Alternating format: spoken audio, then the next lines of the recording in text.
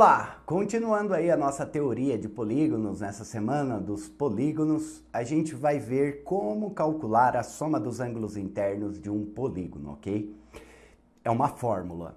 Eu acho que você deve se lembrar dessa fórmula. Quem nunca viu, vai ver agora. Eu vou fazer como se você não soubesse mesmo, mas é uma fórmula. E eu vou mostrar uma forma de calcular sem fórmula, ok? A ideia é a seguinte a ideia é você lembrar quanto que dá a soma dos ângulos internos de um triângulo. Guardou do triângulo, que é 180 graus? Então você consegue descobrir de qualquer polígono.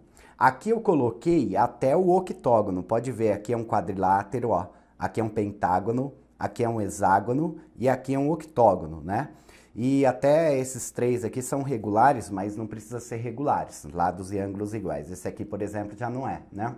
A ideia é a seguinte, você sabe que a soma dos ângulos internos de um triângulo é 180? Da hora, então você vai saber os outros. Olha como.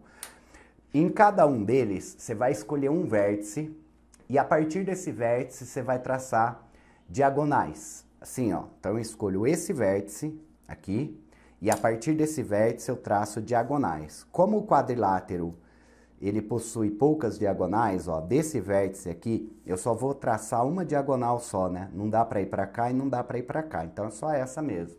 Dessa forma, ó, eu dividi em dois triângulos, entendeu? Quanto que é a soma dos ângulos internos do triângulo?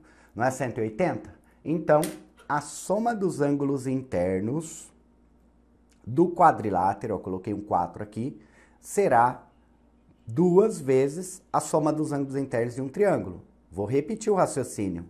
Você dividiu em triângulos, conta os triângulos, não são dois? Então, duas vezes 180. Olha lá, vai dar os 360 graus. Ah, Val, por que que dá certo? Olha, por quê? Olha por quê. Aqui a soma desses ângulos roxos vai dar 180. A soma desses ângulos verdes vai dar 180, que são dos dois triângulos que eu separei. Só que esse verde e esse roxo já é o interno, ó, né? E esses dois, aqui o verde com o roxo, é esse interno do quadrilátero. E esse aqui também, então, somando tudo, 180. E desse jeito você pode matar qualquer aí, qualquer questão que peça para você soma dos ângulos internos. Quer ver? Ó, fica olhando. Ó o pentágono aqui desse vértice e vou traçar diagonais. Então, uma para cá e uma para cá. Para cá não pode, para cá não pode, olha lá.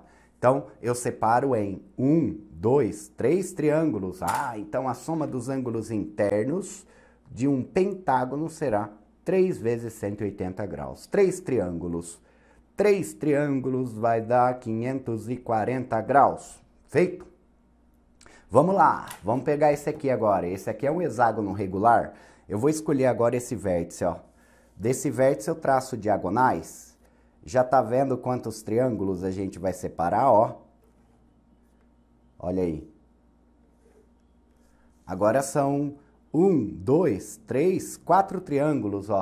Então, soma dos ângulos internos de um hexágono vai ser 4 vezes 180. Então, por fim, vai dar 720 graus. Agora o octógono. Aí, a placa de pare que eu mostrei para você. O octógono, ele é, vai ser dividido em quantos triângulos? Você já consegue ver um padrão aí? Porque imagina, né, se, se o polígono tiver 25 lados, e aí? Você vai ter que ficar desenhando e dividindo em triângulos. Tem um padrão. Observe o padrão para gente, sem desenhar, a gente conseguir descobrir quantos triângulos vão ter ali. Ó. Quer ver? Ó? Olha o padrão. Aqui eram quatro lados, não eram? Aqui quatro. A gente conseguiu dois triângulos, ó. Aqui eram cinco lados, a gente conseguiu três triângulos. Olha lá. E aqui seis, virou quatro. Ah, então no octógono, que são oito lados, a gente vai conseguir, olha lá, ó, ó, seis triângulos, certo? É sempre menos dois. Hum, que legal.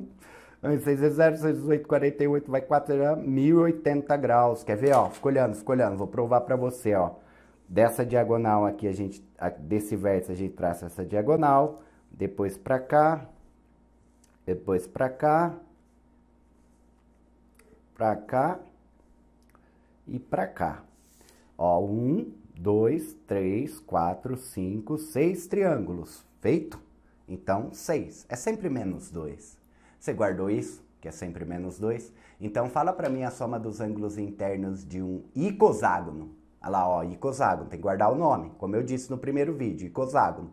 20. 20. Tira 2, 18. Então, soma dos ângulos internos do icoságono são 18 triângulos. 180, soma dos ângulos internos do icoságono, 18, 18 dá 324. Com zero, 3.240 graus, beleza? Você acabou de decorar uma fórmula, que é esta. Soma dos ângulos internos de qualquer polígono. A gente vai fazer o número de lados, como você viu, menos 2, não é? Como a gente está generalizando, vai ficar n menos 2 vezes 180. 180 aqui, soma dos ângulos internos do triângulo. Quantidade de triângulos vezes 180. Fechou? Essa é a fórmula. Acabou de guardar. Sussa, vamos passar para o próximo vídeo. Ó. Ele vai ser indicado aí na tela final para calcular a quantidade de diagonais de um polígono. Vamos lá!